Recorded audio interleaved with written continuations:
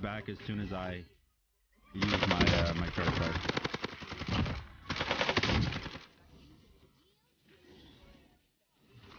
Hell yeah, young squire. Good shit, dude.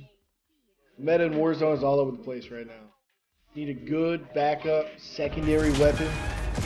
Bullfrog is the way to go. Got to give it a shot. I ran with the PKM stocks a little bit different. Let me know if you enjoy. Hit that follow button for more, and I will see you later.